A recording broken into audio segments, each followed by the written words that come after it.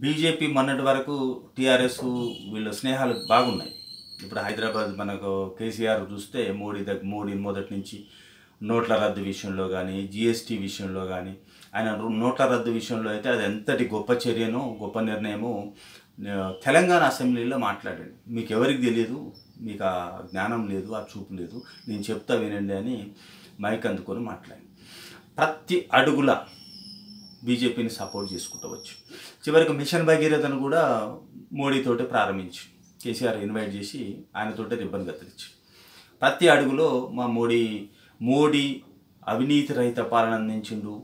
అవినీతి మచ్చలేని నాయకుడు మోడీ. గుజరాత్ గొప్పగా అభివృద్ధి చెందింది. చలో కేటీఆర్ నువ్వు పోయిరా.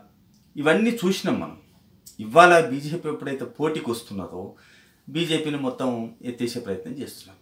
సో బీజేపీ కూడా కొంత టైం ఉంటుందేమో అనుకున్నారు. యాక్చువల్గా బీజేపీ దక్షిణాదిలో ఆంధ్రప్రదేశ్ తెలంగాణను టార్గెట్ చేస్తుందని మనకు చాలా కాలం నుంచి వినబడుతున్నమాట కాకపోతే ఇప్పుడు తెలంగాణ టార్గెట్ అయినట్టుగా కనబడుతుంది. ఇప్పుడు ఈ దూకుడు చూస్తుంటే దుబ్బాక ఊపు వచ్చింది ఫస్ట్ నాలుగురు ఎంపీలు గెలిచినప్పుడు టీఆర్ఎస్ పెద్ద పట్టించుకోలేదు.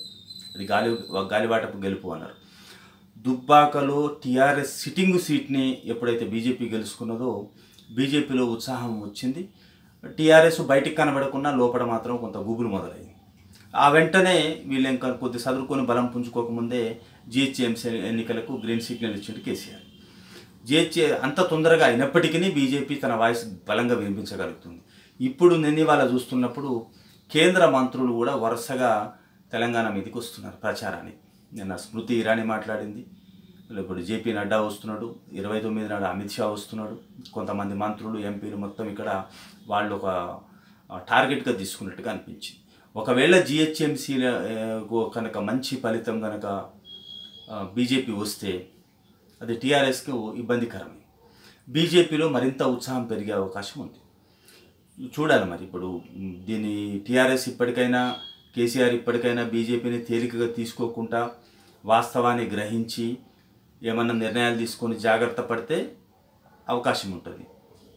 లేదు ఇదే ఉన్నది బీజేపీ ఏం లేదు ఒకటిదే గాలి అంతా మాదే అనుకుంటే మాత్రం చివరికి మళ్ళీ గాలి మిగిలి మిగిలితే మిగిలే అవకాశమే ఉంటుంది.